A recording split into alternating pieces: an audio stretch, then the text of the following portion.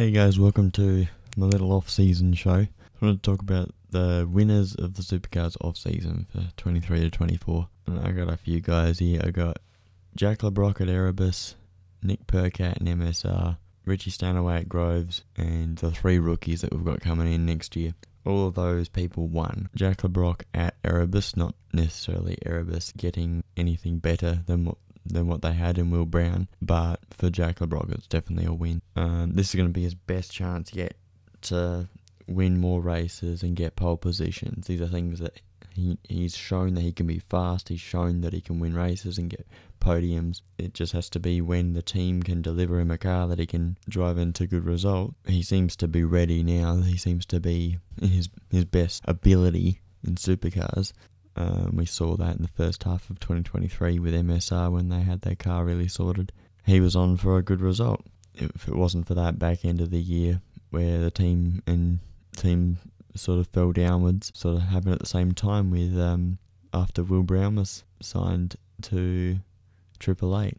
So maybe it was less team and more driver, but we don't know. Maybe maybe there wasn't anything like that. Like how would that really affect you if once you've already once you've so- signed it away, what happens? Do you just think about what's happening next year, or you, you as soon as you jump in a race car and you put the helmet on, you just focused on what you're doing and you forget about everything, unless you're just distracted, which I don't think he would have been.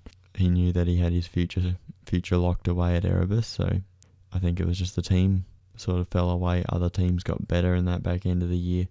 Uh, probably other Ford teams got better, like uh, Groves. Jack wasn't actually quite as bad as I might have thought in 2020 at Tickford. He was actually pretty exciting. So going into 2021, we thought he would improve, and he didn't.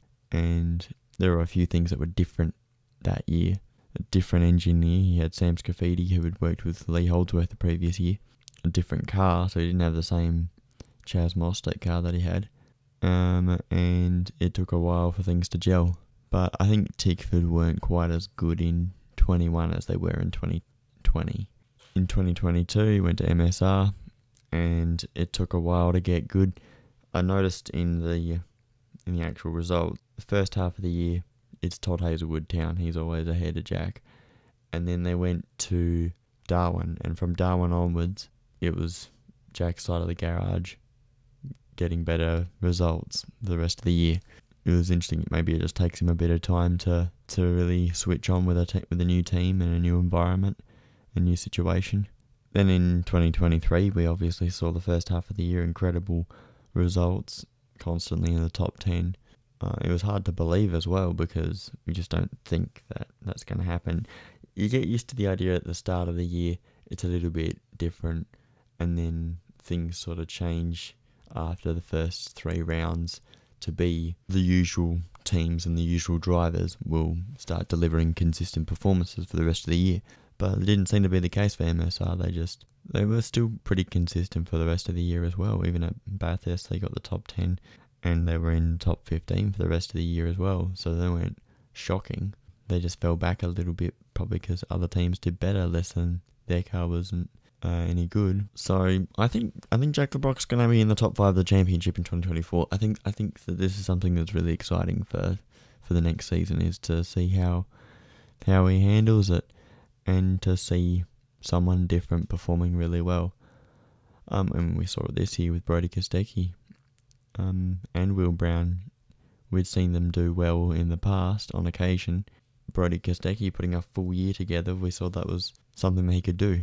So we aren't expecting anything less in 2024. So that's Jack Le Brocq. I'm excited about that. I'm looking forward to seeing how well he does. Um, then Nick Percat and MSR. I think that MSR won in getting Nick, getting Nick Percat, and I think Nick Percat won in getting MSR.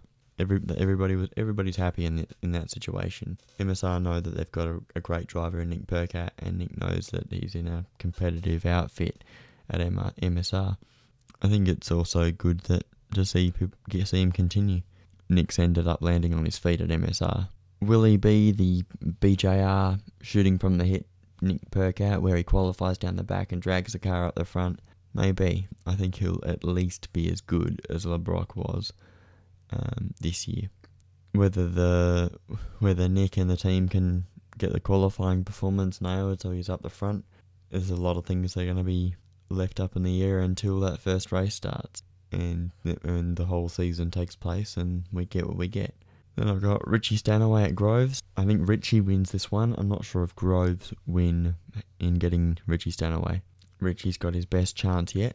Tickford wasn't the best time. Gary Rogers wasn't the best time. Groves, it's the perfect time. It's they're constantly on the upwards since 2022. They've been a competitive outfit. Even 23, they weren't the best. Like they were, they were struggling through the mid part of the season. They were getting top 15s. They were getting decent points, and then coming back end of the year, winning races and getting podiums. Um, if they're able to do that again with Matt Payne, I think Richie is definitely able to to demonstrate his ability, and he'll be competitive next to Matt Payne. Then we've got the rookies. I think for each of them, they're in a great opportunity. Ryan Wood had a dominant Super 2 season. I watched a bunch of the races this year from, from the 7 plus. Newcastle, I think of what the first race he didn't he didn't get qualifying right. It was what Cooper Murray and Jack Perkins on the front row. They had a red flag qualifying session. Ryan Wood started from seventh, and he raced his way up the front, got a good result. So he was fast straight away. Then the second race, he tried a bit too hard and put it in the fence. Just winning heaps of races and getting pole positions. It seemed like when you were watching the races, there were two guys that you were going to be watching to see what they did, or three guys Ryan Wood, Zach Bates, and Kai Allen. Ryan Wood seemed to do it that much better. He just had a few things not work out and lost the championship. There's no point in doing that again because everybody knows he's good, so put him in the main game like timing worked out well for him where he was able to just jump straight into the main game at Walkinshaw and now he gets a chance at being Chaz Mostert's teammate. However that goes, at least he's had it, at least he gets a chance. The same sort of thing for Aaron Love. Aaron Love pretty much proved that he's fast and can win races, just caught up in other people's incidents. Opportunity was ripe and BRT are happy to put him in the car. So he gets a shot, so he wins. Jaxon Evans. Jaxon Evans, every time he jumped in a in the SCT car last year and this year, he's just been impressive. 2024, I think people are saying. I read some things because people always say, "Oh, such and such isn't that good."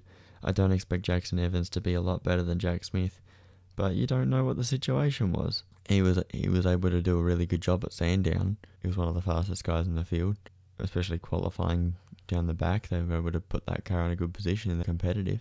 And they said that he drove the car up to 14th in the first stint at Bathurst. But if you're the last car to pit, is 14th really that impressive? I think in uh, 2022 he was good at Bathurst as well. He gets a shot, and so he wins that. And there were guys who who would have wanted the seat that didn't get it. Declan Fraser and Zach Bates, and Jaxon got the chance. Sometimes being the co-driver gives you that opportunity. He's gotten a chance, so he wins.